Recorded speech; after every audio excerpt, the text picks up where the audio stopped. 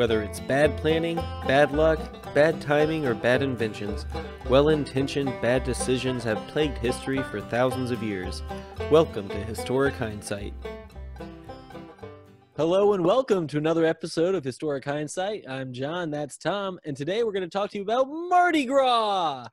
Or not at all, Johnny. But I know you're excited for Mardi Gras. You got your beads on. I mean, you said you Uh, said New Orleans, right? Yeah, where the battle, Nolans, the Battle of Nolans, Johnny. which uh, is which, what Mardi Gras celebrates. Yeah, no one know. It, um, it happens in 1815.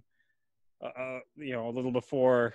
Although I did, I knew you were going to go with that, so I did look up, and I found the first celebration of Mardi Gras does happen in Nolans in like the 1730s. Although what we oh, I didn't know it had been around that long. That's crazy. Yeah, but what we know of Mardi Gras with like the parades and the boobies, that was more like the mid 1800s and really not until, you know, the 80s where we get the boob boobs. Yeah, I, I mean, I don't even know what Mardi Gras actually celebrates. I, I, Fat Tuesday, I think. It, is that a like the religious holiday I before Good Friday do, or do whatever? not uh, do not put me on the spot. all right, I anyway, think, That's not well, what I think what it today. is. I think it's like the last day that you can get drunk and have fun during the whole Lent thing. Yeah, okay. but I don't know if that's exactly what it is or not. But I'm going to go ahead and say that's what it is, and That you sound- can correct me at home if you want. That sounds right. We'll go with it. But what we're actually here to talk about is an equally fun, depending on who you are, uh, a topic, which is the Battle of Nolans, which happened on January 8th, 1815. Okay, so I'm gonna give us a little backstory. We're gonna jump right in here, and if you can see these damn flies, I apologize for that shit. I've been trying to kill them. I can't get them. They're everywhere. I don't know. Apparently, it's breeding season for flies in Indiana right now. They're yeah, they're gonna be all over the place. so it is actually fought after the Treaty of Ghent is signed, and the Treaty of Ghent is what ends the War of 1812. But apparently, word hadn't quite reached Nolans yet that we weren't fighting anymore. So, so this is one of those battles that everything's been decided, and two uh, groups of people are just gonna go ahead and have it out anyway without knowing. Yeah, That's great. pretty much. It would be fought between the British Army under Major General Sir Edward Pakenham. Uh, can you guess his occupation, Johnny? We're going to go back to that fun Uh, I'm gonna guess career military. There you go, career military. You really can't go wrong at this early. If you're a soldier this early as a general, it's you're, you're usually a politician or a soldier. But he is career military and a politician.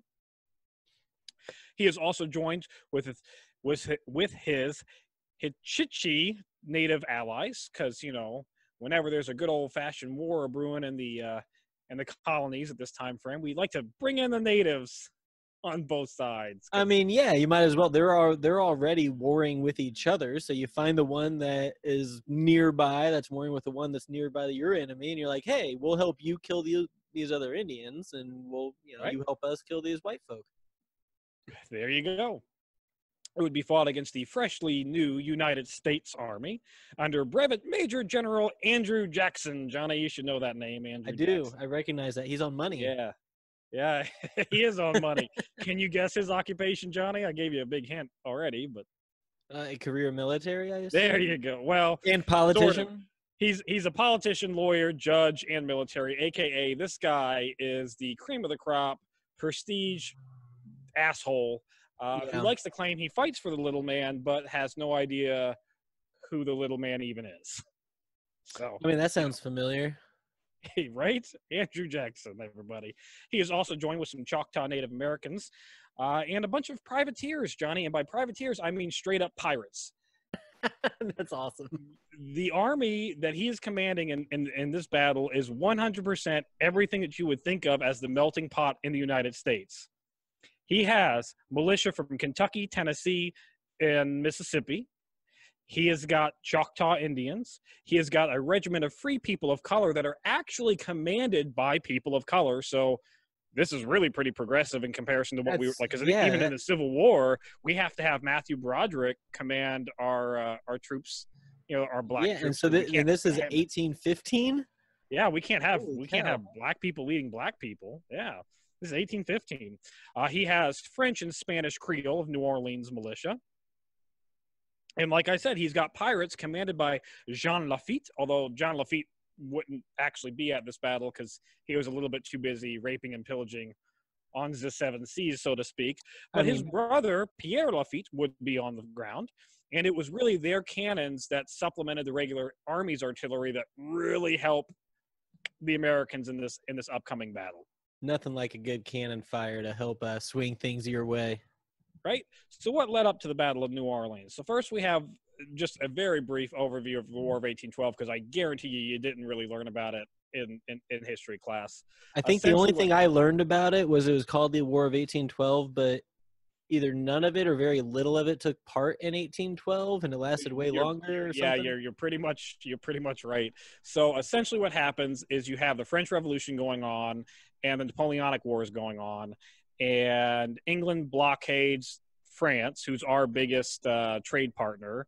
And we get a little pissed about that, so we say you can't do that. You get, we still got to be allowed to trade with France. They're a trade partner. we want and our England stuff. goes, uh-uh.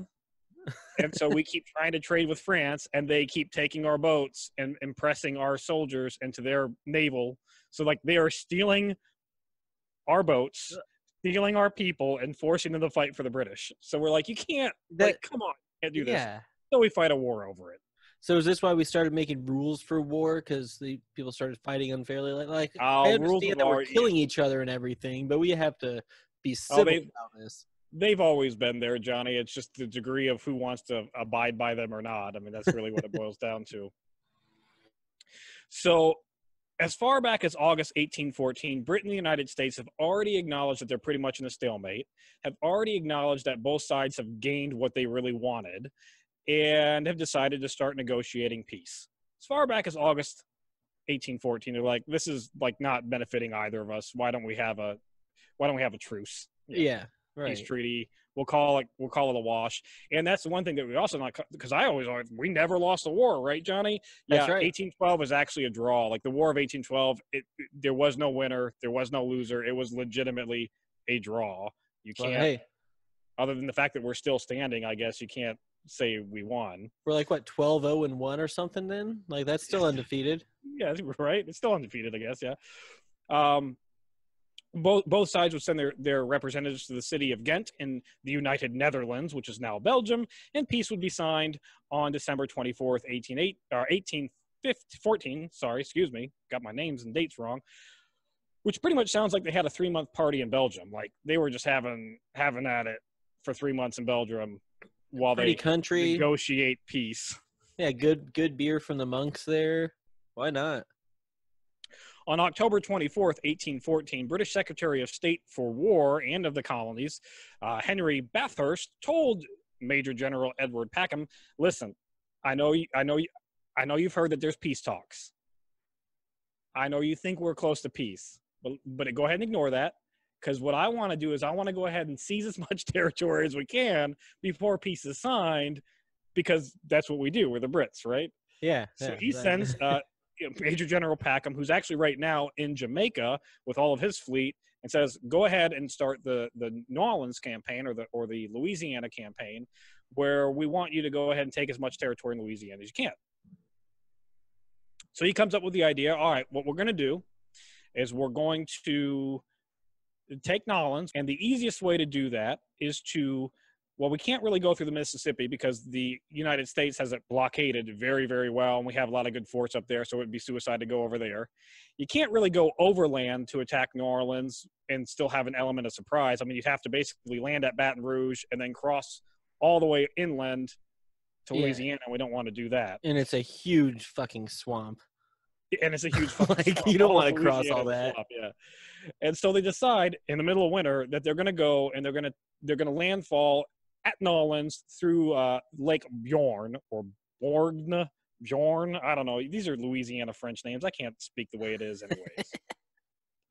With the idea that we're going to seize New Orleans before peace is officially signed, so that way the Brits can now control Louisiana, which really would have halted U.S. westward expansion and would have That- put a whole kibosh in Andrew Jackson's plans when he becomes president. The whole manifest destiny, let's get rid of the Indians thing.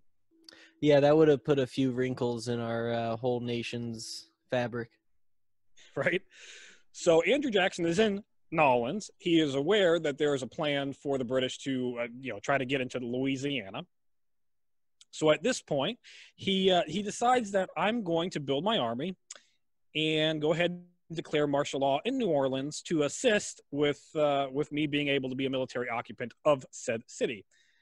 At which point, the local judge says, "You you can't do that. You're not the president. You're not the governor. You have no legal authority to declare martial law in New Orleans." Wait, but did he did he say please or No, Like- what he does do is he gets a couple of his soldiers and arrests the judge and throws him in jail and says, "While I'm here, is stop me." so basically You he have an army. basically he said, "Hey judge, I'm not sure you understand what martial law means. Marshals, go and go show him the law." And then then just did it anyway. That's fantastic. So we're going to jump forward a little bit to the actual invasion here.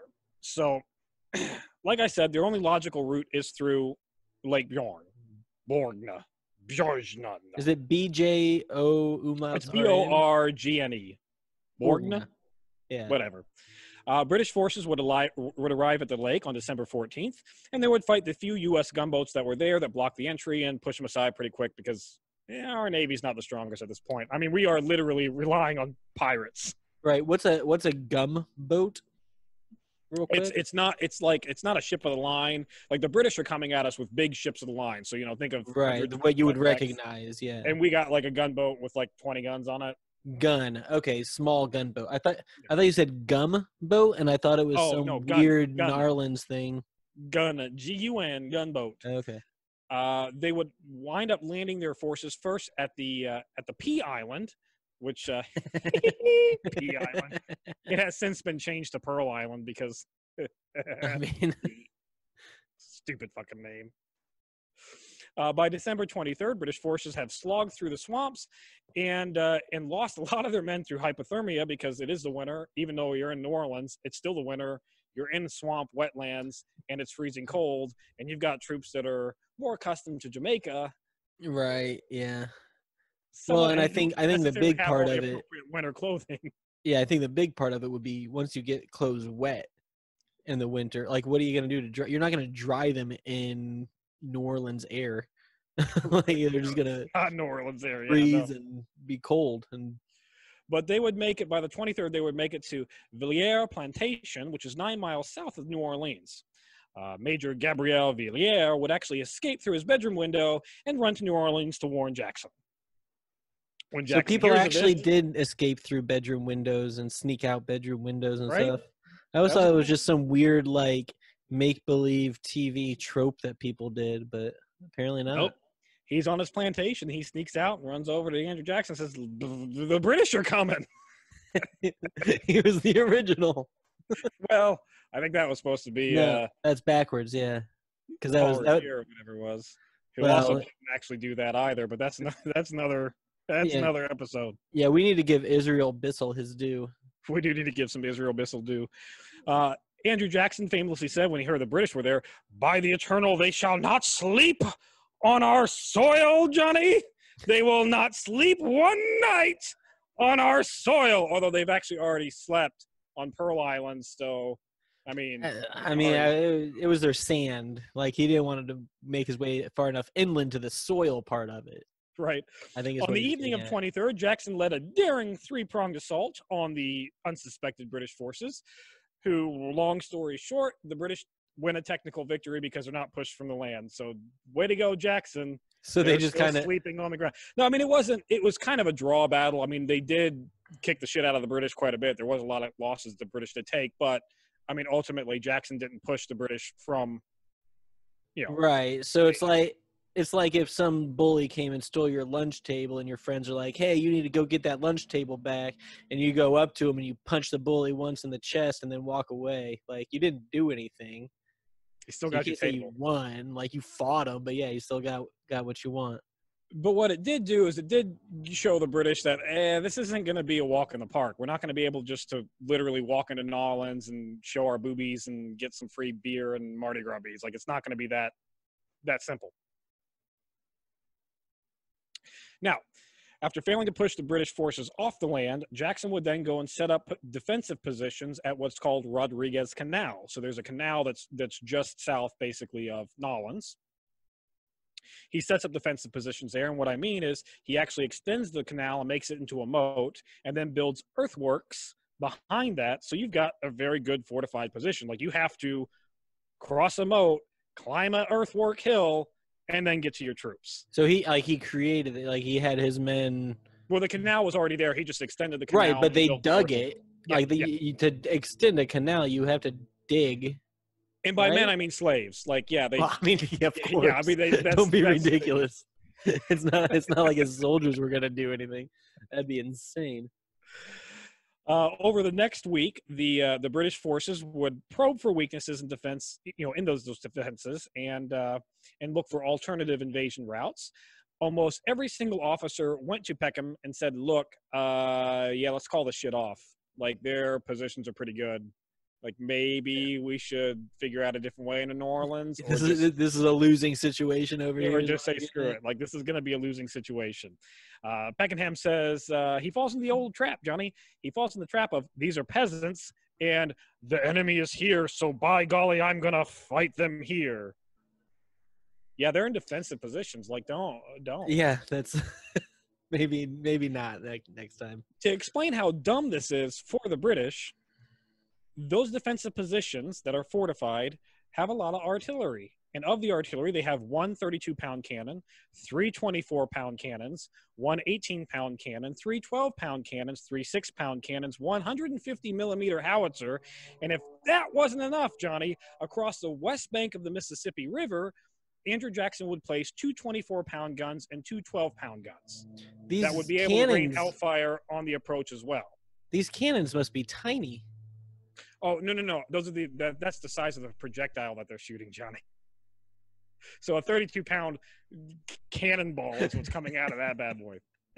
And every single one of these cannons is behind an earthwork fortification, so they're able to fire upon you without really any risks to them. Like Right. Yeah. comfortable. Because basically, so I assume they have like a little hole that they'll push the cannon out into, fire it, pull it back, load it up, and do it again. Yep yep And yep. So they're just never exposed. pretty much. Now, General Pakenham, he's not a complete idiot. And he does wait for his full force of 8,000 troops to arrive on the 7th. And I can't stress this enough, Johnny. This will come important very quickly when the battle begins. His troops aren't irregulars. They are all regular troops. They are all veterans of multiple campaigns. These guys know how to fight and know how to listen to orders. So if they're told to go forward, they'll go forward into hellfire. If they're told to retreat, they'll retreat. If they're Bunch not of given any well-trained orders- dogs. yeah, they're well-trained dogs. They have they do not think for themselves. They are whatever their commanding officer says, that is what they're gonna do. So, mili- I mean, And- really, the military's dream recruits. Exactly. Cannot stress this enough. Uh, Pakenham's plan would be that he's going to take a troop, uh, about 780 guys, have them cross the you know the, the Mississippi onto the West Bank, take those guns that are on the West Bank, turn them on the Americans' flank, and provide enfilade fire onto the defensive positions while the rest of the British troops do a frontal attack. Not a bad Okay. plan. But in order to pull this off, you got to have men in boats. And right now you're Yeah. inland. So they start digging their own canal that leads to the Mississippi River. So you could just float your guys down that canal, get to the river, cross the river real quick, and then march your troops up. The problem is the night that these troops are supposed to start marching, their damn canal collapses and they now have to carry said boats overland through mud and muck. Oh God! Yeah. But at least, at least it's not like soft mud that collapsed and is saturated with water, right? Yeah, right. Not- E- it's not a easy trekking through that. they already start off 12 hours behind because they've got to take these 42 small boats and drag them overland. When they finally do get underway, they also miscalculate the speed of the Mississippi, especially in the winter when the water's a bit high, and they Yeah. actually wind up landing two miles south of what their intended landing spot was. Uh, don't you hate it when you Or miss your exit? Yeah, so you miss That's your exit. You got to go too much. So, first thing in the morning at 5 o'clock a.m. on the 8th, the British main assault line is to, to begin its march forward. At which point, the commanding officers go up to Pakenham and say, uh, We don't hear any gunshots or fire or battle coming from the West Bank, so maybe we want to delay just a scotch. At least, at least till we, you know, know what's going on over there. Right. Yeah. Well, it's like they didn't think maybe there's a chance something didn't go quite right and they're delayed. Right? Like they, that didn't cross their mind. It's just, well, wow, we're supposed to go at 5 a.m., so that's what we're going to do. Yeah, and that's exactly it, Johnny. 5 a.m. To hell with it.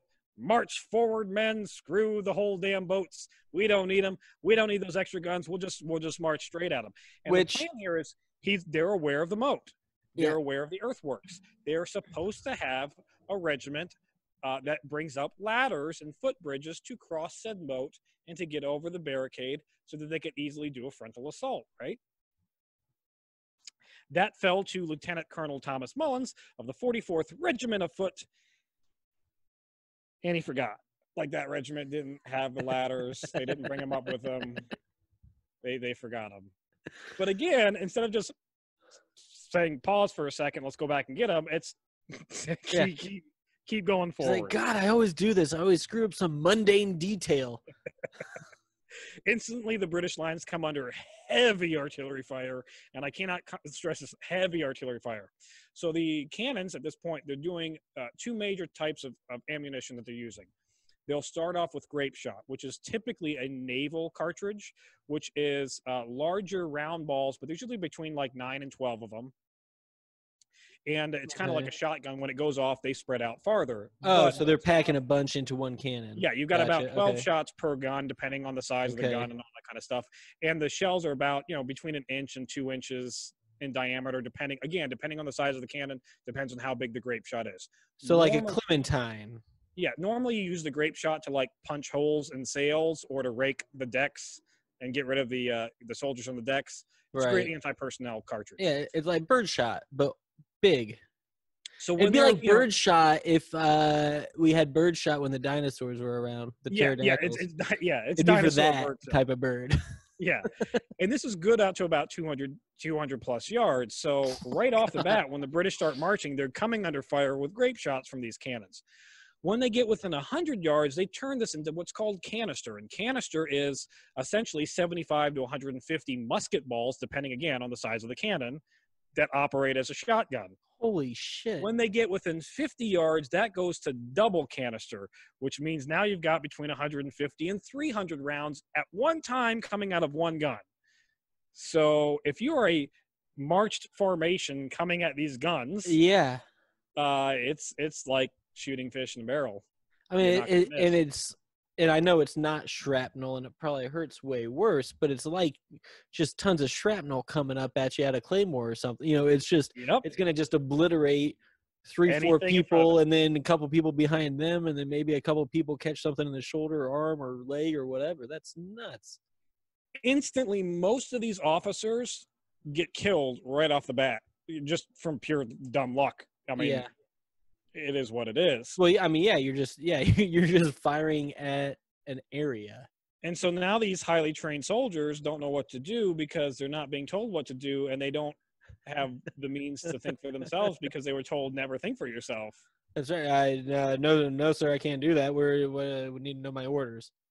Well, Right? your orders were to march forward and and take New Orleans. So keep marching forward. Don't tell me they kept marching forward. A great example of this, no, it's even worse than that, Johnny. The 93rd Highlanders were ordered to take an advanced redoubt, uh, which is like basically a small little defensive position that was right along the, the, the Mississippi River. They were ordered to take that position. They do take that position. And then all their officers are killed. And they're standing there and they don't know what to do. They don't have any orders to retreat. They don't have any orders to move forward. So they just stand there. They're like robots. And then get mowed down by the artillery and the American 7th Infantry Division that takes that retakes the position from them. This is the problem with AI and computers. Like, if you don't tell, like, a computer can be really smart, but it's only as smart as what you tell it to do. And if it's not able to think for itself, it's going to have problems. Like that's these people just like they just malfunctioned, shut down and like they were in like a rebooting sequence. where I don't know what to do, so I'll just I'm wait just here. stand here and get gunned down. We're just frozen. General- Oh, they're shooting at us now. Don't know what to do about that. Oh well.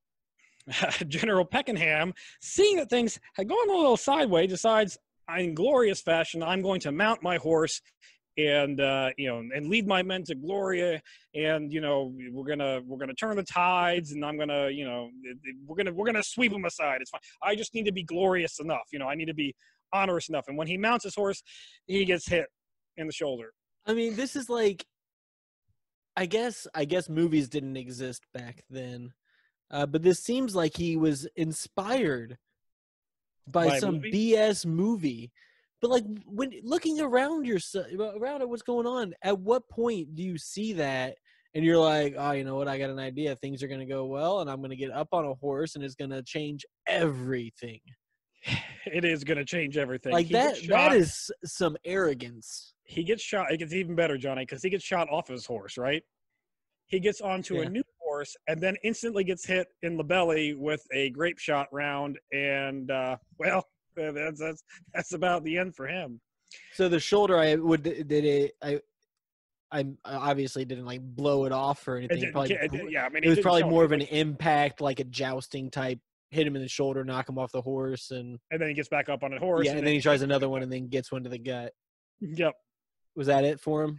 So he's done. He's done. So Yeah. uh, his second command, Major General Samuel Samuel Gibbs, is also hit by that grape shot round, and Same one I I, I think the- it's the same one, or from the same fire, but yeah. I, I want to say it's the same. I want to say they die at the same time, but they might they might not. But it's either way, it's grape shot, Well, and a lot of it's coming, so who could really tell? Right? Uh, so that sucks.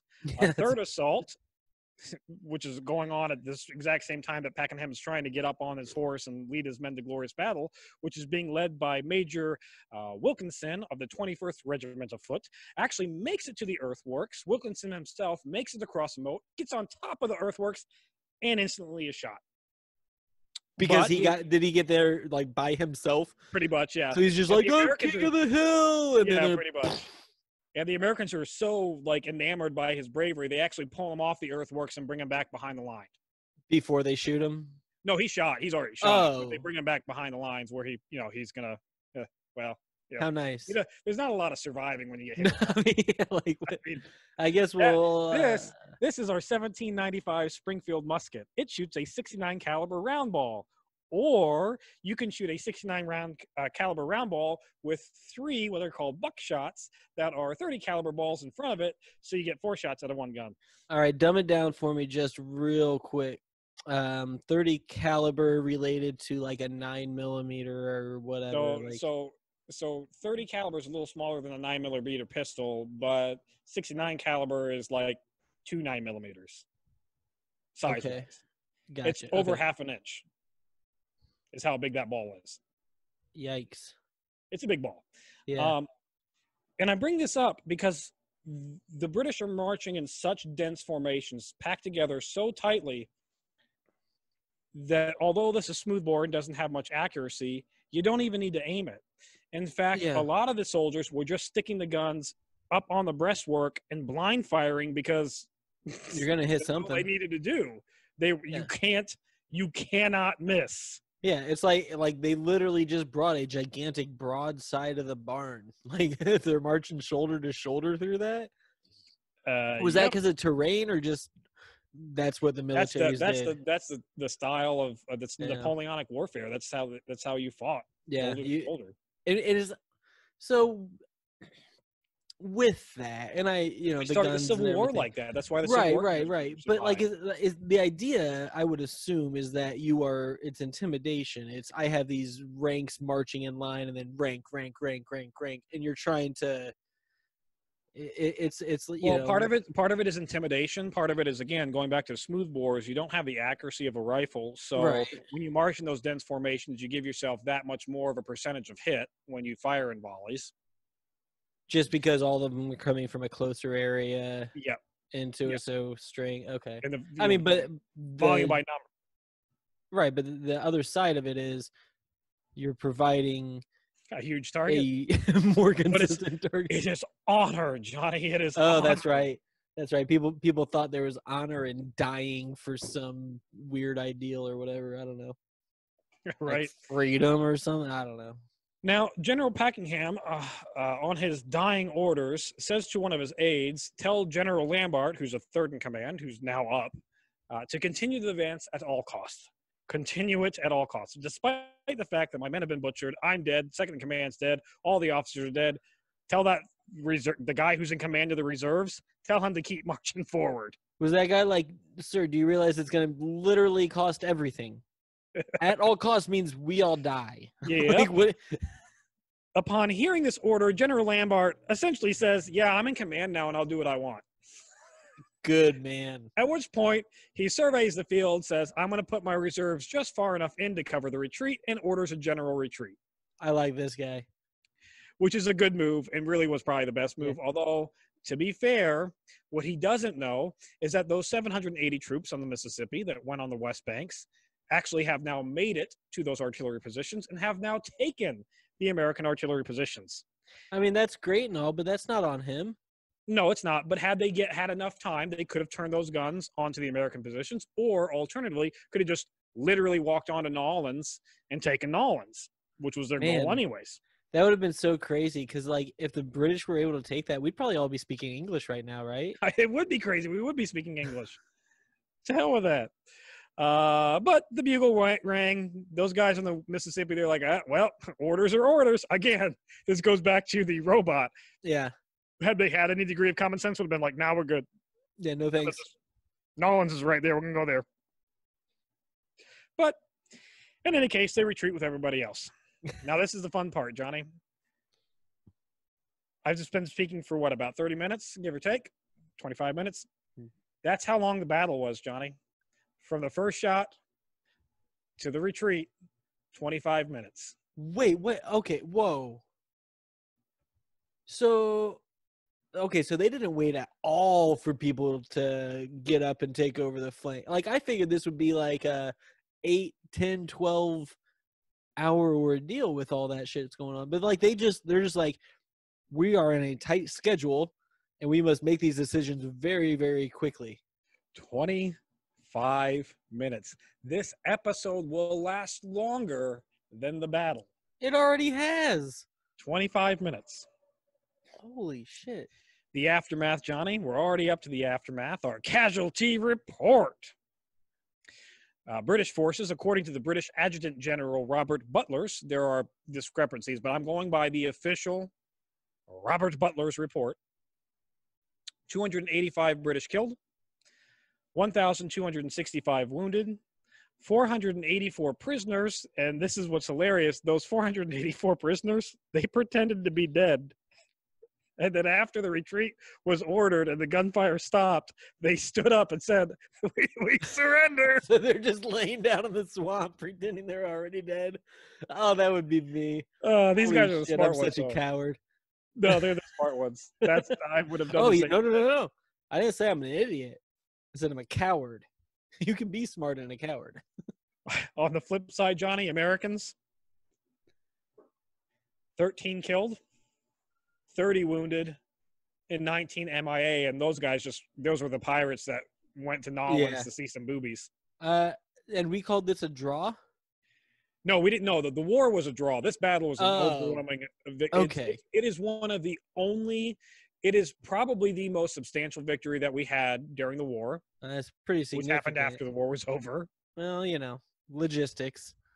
It also goes down as one of the most lopsided battles in history, with Yeah. one of the highest casualty counts per minute of battle. I mean, I was gonna I was gonna say when you when you mentioned the British numbers, um, like those numbers were similar to a lot of the other Civil War battles that we've covered or talked about or whatever. or quite and- low in comparison to some Civil War battles. Well, yeah, right, but but those Civil War battles lasted like day long. yeah, in a- a day. like This is 25 minutes to have a thousand people injured and 300 whatever dead. Like yeah, 285 killed, quick. 1,265 wounded, 484 prisoners. So their total casualty was 2,000, a little over 2,000 out of 8,000 total troops. holy cow. Woof. 25, Like- 25. Hey, that's 1% of your troops a minute. right? uh, universal blame for this battle on the British side would go to uh, to Colonel Mullins for forgetting the damn ladders. Oh, and by the way, Whoops. Mullins wasn't actually on the field himself. He was a mile behind the front line doing what officer gentlemen do, I guess, which is I will lead from behind. Yeah, that that's a true leader right there. British forces would attempt to sail up the Mississippi on the 9th, but were cut down by U.S. Fort St. Philip. So, which was dumb of them because you knew the Mississippi was a no go. So, why did you try that anyways? I, I I love the guys that are probably sitting at Fort Philip watching them try to work their way up the Mississippi, thinking like, really? Are they for real? They're gonna try that? All right, I guess Alright. so. we'll just start blasting them. By the 19th, General Lambert uh, thought that the Louisiana Pennsylvania campaign was too costly to continue and withdrew his troops from Louisiana. Uh, the British forces uh, withdrew and attempted to take Fort Byer or Bower, sorry, in Mobile Bay, Alabama, and were actually able to capture that on February 12th, 1815, where they finally heard about the Treaty of Ghent and said, "Oh, oops." Jackson, however, was planning. a Did they give it back? well, yeah, they did give it back. Jackson was planning a full-scale attack where he was going to push the British out of Mobile, and then had in, intentions on pushing them into Spanish-controlled Florida, which is actually an ally of the British at this time, and was Oh, also with us during the War of 1812. And then he was told promptly by the U.S. Congress and the El Presidente, "Yeah, you know, peace. We've signed peace. Stop it." Yeah, I don't know. I kind of like his uh, method of it. He's like, oh, I totally, totally would have uh, bagged all those guys up, shoved them down into Florida, and been rid of them if only you'd let me. Right? But There's a lot the of that that goes on with it. happenstance, like, oh, I guess it didn't really work out that way. So, but that's what I would have done. So go ahead and take that to the bank. We have a lot of generals that do that throughout throughout history, That's how they got to be generals. right? The British forces would pull out of the Mediterranean altogether, or pull out of of the Caribbean and go back to the Mediterranean altogether. Uh, and you know, you know, we've made peace, and we've never really fought with the British since. We've been friendly-ish, sort of. Are you mean I can't tell if because I don't know enough history to know if you're being I mean, we yeah. I can't think of another war we've been in against them. No, but- we, we've not been in war with them again, although we have come close, including the Pig War, oh, right, yeah, we yep. came close to in the 1850s. Uh, but no, for the most part, you know, they acknowledge that we're a sovereign nation. They Yeah. acknowledge that they probably shouldn't take our people off of boats, They look make similar them enough fight for us. the British crown. Yeah, they they look And we similar enough said- to us to not care about them. We said we won't invade your country. I mean, why would we want to? We would. God, Nobody wants to invade England. Even We Hitler nine months of rain, England, pal. right? Now, Johnny, at this point, you might be wondering what happened to that judge in Nolens, right? Because he's still sitting in jail, right? Well, I, I figured they executed him. Actually, No, he just threw him in jail cell. So after the victory, Jackson would go over and release the uh, re- release the, uh, the the judge from jail, who then promptly issued a warrant for Jackson's arrest. Jackson would show up to his trial date, but he would show up in tow with a crap ton of pirates that Yeah. he'd befriended during this battle. yeah, that's how you do it. during the during the whole trial would just make asses out of themselves and Be ruckus pirates. be pirates. So the judge couldn't get a word in and just decided, to hell with it, I'll fine you $1,000 and fined Jackson $1,000, which is equivalent to $16,740 today. Pretty hefty fine. So pretty hefty fine. Um, that's the Battle of New Orleans. And I really should say it's the battle for New Orleans because it really didn't happen at New Orleans. It was it was just outside of New Orleans. But anyways, it's the battle for New Orleans. So Mardi Gras we have today, I guess, all because of this. I'm sure that's the reason. This and this is why we celebrate Mardi Gras, boys and And girls. this is why we celebrate Mardi Gras. All right, that's it for this week's episode of Historic Hindsight. Please be sure to subscribe, rate, and review, and join us next week when we talk about World War II pets.